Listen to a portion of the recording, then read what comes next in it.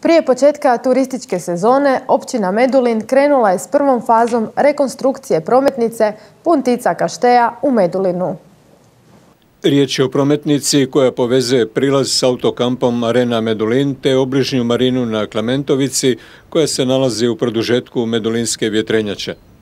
Nakon više desetljeća projekt uređenja Medulinske rive dobiva tako nove obrise modernog turističkog središta gdje se odvija glavnina ljetnih zbivanja i događanja u Medulinu. U fazi e, gradnje izvedeni su sada, kao što imate priliku vidjeti, znači radovi na e, kompletnom postavljanju nove javne rasvjete, rekonstruirana je oboninska odvodnja i radovi znači se polako privode kraju. E, prilazna cesta do Marine Puntica je meni s desne strane, a ovdje s lijeve strane imate priliku vidjeti znači e, šetnicu koja će povezati kružni tok, autokamp, e, pješake koji, koji dolaze iz Bijece i usmjeriti ih znači prema šetnici na na rivi. Time će se, ističe pročelnik Peruško, povećati sigurnost i protočnost svih sudionika u prometu i vozila i pješaka, što je bilo nužno obzirom da na ovom potezu u ljetnim mjesecima dnevno prolazi velik broj ljudi i vozila.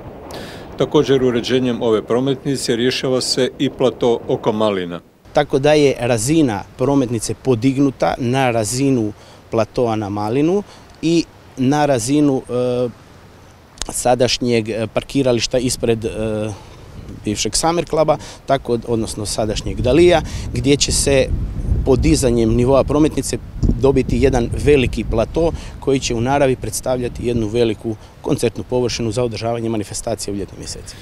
Izvođač radova je pulska tvrtka Cesta koja je bila najpovoljniji ponuditelj na javnom natječaju, a vrijednost investicije je 3 milijuna i 29 tisuća kuna. Rok okončanja radova je sredina svibnja, dok će se nakon turističke sezone u rujnu nastaviti s drugom fazom rekonstrukcije navedene prometnice, kada će na Osipovici kod uloza u autokamp Arena Medulin biti izgrađen kružni tok promjera 15,5 metara.